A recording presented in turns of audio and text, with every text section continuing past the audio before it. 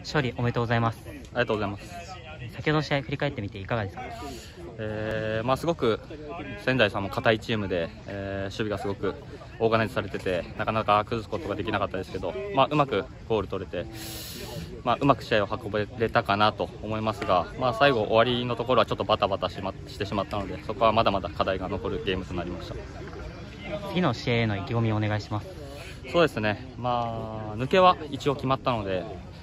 まあ、どうするか、えー、明日中日があるのでしっかり考えてまた1回戦に向けてとまた明後日に向けてしっかりいい準備したいと思います。ありがとうございました。ありがとうございました